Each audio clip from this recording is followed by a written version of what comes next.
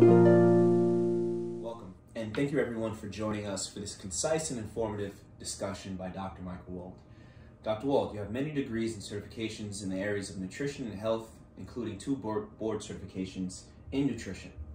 You are a doctor of chiropractic with a master's in nutrition, and you are a certified nutritional specialist. That's right. You have published successful books on natural health, and right now we will be discussing cancer and nutrition. Okay. So there's a question for Marjorie.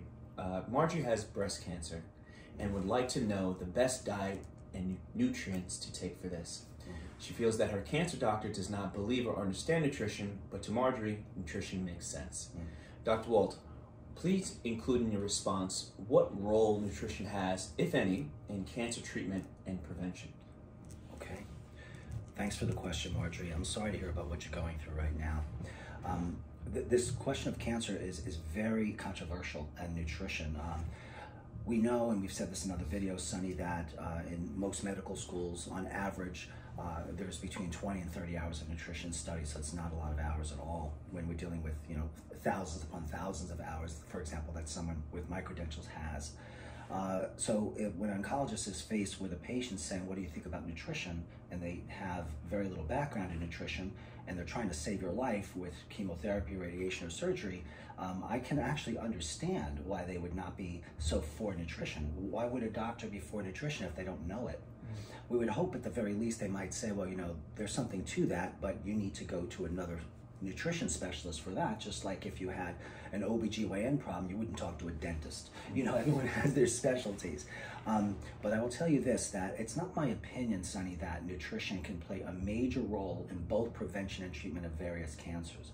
Now, when we say cancer, you know, there are over 800 varieties of cancer and then more individual varieties among different people. So we can uh, stage various uh, cancers, stage one, stage two, for example, but even two or 10 people with the same stage do have variations. Mm. So um, the nutrition needs to pay attention to that. So oncologists, in a nutshell, um, some are not pro-nutrition simply because they don't know it. So it usually means, here's a scenario, a patient comes to me, they say, Dr. Wald, as you said, you know, as Marjorie said, you know, my, my oncologist doesn't seem to believe in this. So um, sometimes it takes a conversation from me with an oncologist so they, they realize that, oh, so this is actually uh, scientific and we can do this. And they're, they're concerned, as they should be, that there are no negative interactions between their chemo or um, their surgery or their radiation, depending on what a person gets, uh, and nutrition. And since they don't know nutrition, of course they're going to be limited with that. So I think I've emphasized that enough. But on the National Library of Medicine and also in the Cochrane database, the two largest medical database for nutrition studies and medical studies in nutrition and cancer, the amount of, of data there is um, beyond my ability to even read it all. That's how much there is on the positive benefits of nutrition in the form of nutritional supplements and diet. So Commonly in cancer, you have a hyperutilization of nutrition, which if you don't match the nutrition needs of the patients, they can become cachexic or they can lose their lean mass. Mm. The more the lean mass is lost, that's directly proportional to poor outcomes. So we need to do things to improve upon that. Sometimes, Sonny, I see some oncologists uh, recommending patients to a dietitian. That's about as far as it would go, but I hardly ever see even that. Mm-hmm. And as someone who is also a licensed certified uh, dietitian, uh, we do not learn a whole bunch of nutrition and cancer beyond some very basic things. But I, through um, teaching others about cancer nutrition and, and, writing my various nutrition books and treating patients for you know about 30 years, have found uh, through the literature that there's quite a lot that we can do. So for each person with cancer, what we want to do is look at their diets. We want to look at what medications they're taking, uh, what forms of um, oncological treatments they're getting, and we want to support those treatments.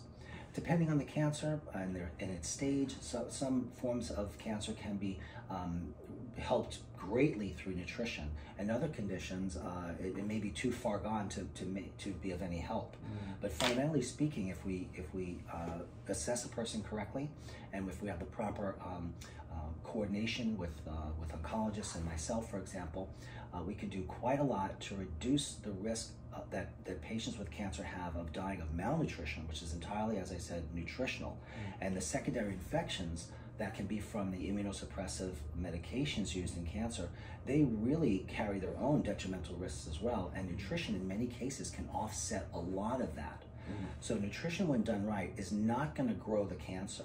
It's actually going to do quite the opposite. And uh, again, that literature is out there, uh, which is why I can say it on a public forum like this because it's an important thing that needs to be proven out, but it's, it's been done.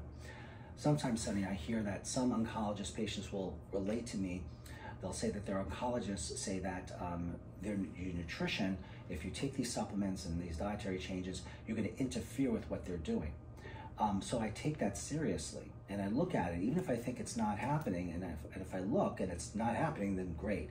Um, and, but there are cases where nutrition can interfere with the standard oncological treatments. And for people who decide to take those therapies, we, have, we want them to work. So we, we coordinate the nutrition around that and in support of that. And sometimes patients will say to me, I am, I am not going to do uh, cancer therapies. I'm not, I don't want chemo in my body. I don't want this, don't want that. So I make sure that they have the proper education by their oncologist by asking them specific questions and then letting them know that nutrition is not a substitute for the standard of care in, in cancer therapy, officially speaking, but the science is there. Uh, it is a, a, great support. It can extend life. It can improve the quality of life. Nutrition, when properly done, can remove uh, and reduce side effects. So again, and then, then we take the step further. Depending on the cancer, there are certain nutrients and nutritional compounds that are more or less needed. Mm-hmm. And that's something that I determine with a patient based on what does the medical and nutrition literature say about the use of nutrition and supplements in general. And then I take that individual patient's condition and all the uh, information I know about that, including the labs and the and the various scans, whether it's a PET scan or MRIs or CT scans, for example, and then um, look at their laboratory work and individualize the nutritional needs there and then put that all together to personalize it. Mm-hmm. It must be personalized because any number of these books, Sonny, can talk about all these nutrients and diets uh, for cancer, but none of them are based on the individual needs of each person who is coming to me with cancer. Mm-hmm. So anything you read in a book at, the, at best is just a rough guide to have you be aware of what may be out there for you to have the proper discussion with a trained healthcare professional. And that's essentially uh, what we what we do and how we approach cancer. Okay, great, Dr. Wald. Thank you for that response. I hope it was helpful.